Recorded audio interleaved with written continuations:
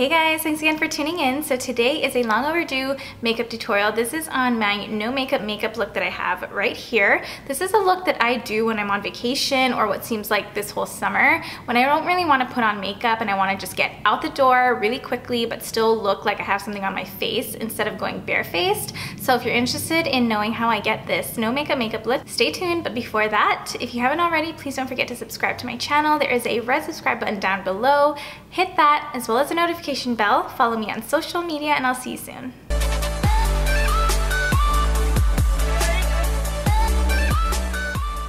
Alright, so the first thing I'm going to do is pull my hair back since they always seem to get in the way. I am just using these duckbill clips. You guys can use anything that you have.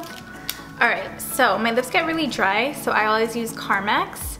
So this look is basically like your summertime look. Like when you're on vacation and you are in a rush because you don't want to spend too much time in the room, you just want to hurry up and get out, but you still want to look good. At least that's how I feel. I'm always like, oh, I wish I didn't have to put on any makeup, but I have to put something to feel good. So this is a step-by-step. -step. Um, it's really minimal for the most part. I'm going to show you the different steps. There's certain points in this video where you can stop if you're comfortable with it, or you can keep going and building up if you want, or need more coverage. My face is really bare. I just got out of the shower. Now I always put on eye cream and they say the different steps to putting on different things is to start with eye cream and work your way from like the thinnest consistency like serums all the way to the thickest. I always put on eye cream day and night. This is just the Algenist Eye Cream Complete Eye Renewal Balm. Looks like that.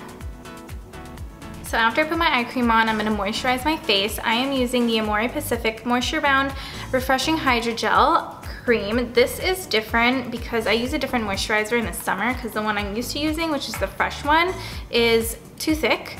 Um, that's what the inside looks like. It's almost like a gel consistency. Since I get oily throughout the day, I like the gel ones for the summertime because they're not as creamy and heavy. I don't know, I guess I'm combination skin. I get dry, especially around my mouth area and my nose, but later on throughout the day, I'll get oily. So this helps to kind of control that a lot more. All right, so after moisturizer, I'm still gonna use a primer. This is the Hourglass Veil Primer, which I absolutely love. I've bought this so many different times and I always just buy the travel size. Oh, that moisturizer, by the way, is also really good because it leaves your face more matte than like shiny if you're going barefaced. Okay, so moisturizer's on. Now the first step that I'm going to do is just put some concealer under my eyes. I'm using NARS Radiant Creamy Concealer in Custard. Now, when I say some concealer, I literally mean some, like a little bit, not a lot. Now, it's always the inner parts of the eyes that are the darkest, and so if you focus just on the inner part and put concealer there, you'll already notice such a huge difference. So I literally am only going to be putting a little bit, like that much. You can put more, you can put less, and then I always build. Thing is, I don't really want my inner corners or under eyes to be too bright compared to my face. That's why I start with a little bit and then I build up. So what I'm gonna do next is I'm just going to pat it in with my whatever finger this is. Really do the inner corners first because like I said, that's the darkest part. And then you can bring it out. But if you already notice, there is a big difference between just this eye compared to this eye. So now I'm gonna do the same thing to this eye. I actually think I need a little more on this eye, just a tiny bit. I like to rub the excess concealer on my lids just so that kind of blends and it's not so dark on my lids as well. All right, and that's the first step to no makeup makeup. If you like, if you want, you can just do this. If you're comfortable enough, put on some like lip gloss or some colored chapstick or balm and I think you'll be good to go. Uh, but for me, I like to curl my lashes. I'm using a Lancome eyelash curler. So I'm just starting from the bottom and then working my way up to the top when it comes to curling my lashes. Okay, lashes are curled, and so I'm gonna take my mascara. I'm gonna use two of them. This is the Maybelline Lash Sensational Mascara. And then the second mascara is going to be the Voluminous Lash Paradise. This one is awesome for me for a second coat. But this one is always my first coat. Now if you have the same problem as me where your eyelashes don't hold a curl, waterproof mascara is the trick. Waterproof mascara will always help your curl or your lashes to stay curly. And this Maybelline mascara as a first coat always does the trick for me. It is the best mascara as far as waterproof goes for holding the curl. So annoying, I've been losing lashes on this eye and it's thinner than the other side. And I stopped using that castor oil just because I just wasn't liking putting oil on my lids and I wear contacts. And so sometimes I felt like the oil was getting in the way, like seeping into my eye and irritating my contacts. So it would be hard to blink or like, like you know, when water and oil, it's like sticky. So now for the second coat of mascara, I'm using the Voluminous Lash Paradise. This one I got in Blackest Black. I did this yesterday using the Maybelline coat first and this one second. Oh my god, it just made it so thick. I loved it. This brush is amazing. So that's the difference. Just gonna do the same thing to the other eye. Most of you guys probably know this, but if you guys get mascara on your lid or anywhere on your face, on your nose, um, don't rub it off right away because that's when it'll sm smear. Let it dry up first and then rub it and it'll come right off. All right, so this is the two coats of mascara on my upper lid. I'm not going to put mascara on my lower lid just because this is a no makeup makeup look. We're trying to go minimal. Now I'm gonna set the under eye and I'm using the Charlotte Tilbury Airbrush Flawless Finish Powder. This is what the outside looks like. And then I'm using number two, which is medium. So this is what the inside looks like. Now I just bought this separately. The only thing that sucks about this compact is that it doesn't come with its own sponge. So I just bought this at like the drugstore. Now I'm just gonna take, dab a little bit and just tap. Going to do the same thing on the other side. If setting your under eyes is the last step for you, then you can just set the under eyes and call it a day, or you can also just kind of blend everything together by adding more of the powder around like your cheeks area, because I'm a little bit red over here, so I do like to add the powder onto my cheeks just so that it blends in with my under eye, and I'll put some on my forehead as well.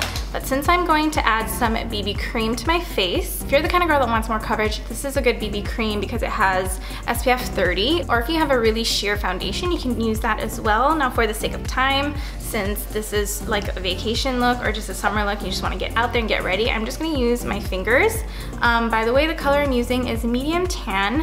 I think there's only three colors in the range. Right now I'm really tan, so this is actually gonna be really light on my face, but I'll just use some bronzer at the end. So literally just using my fingers to add the product onto my cheeks. I'm gonna put some on my forehead.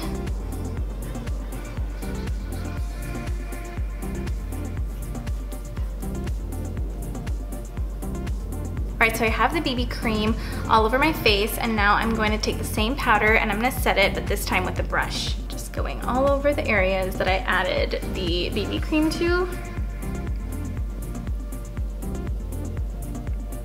Now, since this is obviously like a white cast on my face right now, I'm gonna warm it up with some bronzer. This is Gimme Sun by MAC. This is literally the perfect sun-kissed bronzer. So I'm just gonna bronze on my cheeks, not doing any contour.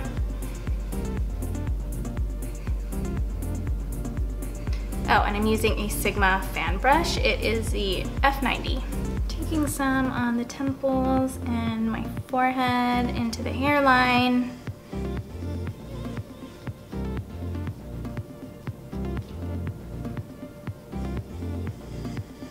Jawline.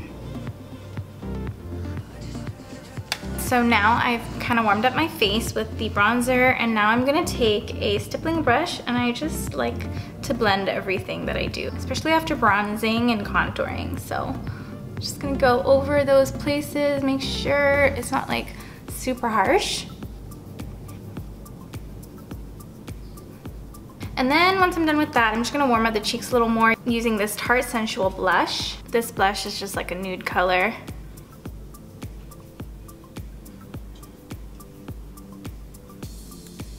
Again, you can stop here, just wherever you're comfortable. If you wanna add some highlight, you can, which I'm gonna do. I'm using Maybelline's Master Chrome highlighter in Molten Gold. This is, oh my gosh, I didn't think I was gonna like this. There's so many people like raving about it, and I am not even a big highlighter person. Um, this is definitely a highlighter that I absolutely love. Isn't it crazy when you love something that's a drugstore more than any other high-end makeup? It actually makes me mad. All right, so we've highlighted, we've bronzed and all that. Now I'm gonna do something about these brows. I mentioned in my favorites video that when I'm just trying to get in and out of places and not put on too much makeup, my favorite thing is this Glossier Boy Brow. Um, this one is in the color brown. You can take it a step further if you really need to do your brows. I've done that where I really just wanted my brows to be filled in, so you can definitely fill in your brows. Otherwise, this is such a great product. So now I'm just gonna brush this, all the hairs up. I want it to look a little more bushy. And then towards the end where my hairs are kind of sparse, that's when I push the product on my skin a little harder.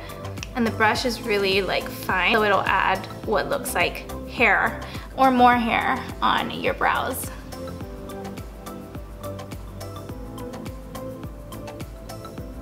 All right, so that is pretty much it for the face. Now, last step, I'm just gonna add some color to my lips, not a complete, like full-on, like matte carved out lip or anything. I'm just gonna use my finger and I'm using this Smashbox. It's the first time matte in Be Legendary and it's this pretty like, I don't even know how to describe this color, but this is basically what it looks like. So I'm just gonna use my finger and I'm just gonna tap on it and then just add a flush to my lips.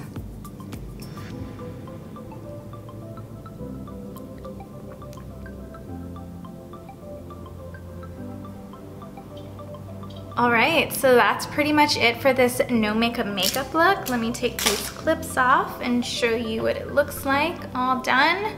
All right, so this is pretty much it, you guys. I hope you guys like this no makeup makeup look tutorial. Again, this is more for the summertime. This is when you're on vacation, when you're just trying to get something on your face to make you still look put together, but gets you out the door really fast. There's different steps of this makeup look that you can do and then just stop at a certain point, or you can go all the way through like I did. If you like this video, please give me a thumbs up. Before you leave, if you haven't already, please don't forget to subscribe to my channel, follow me on social media, and I'll see you next time.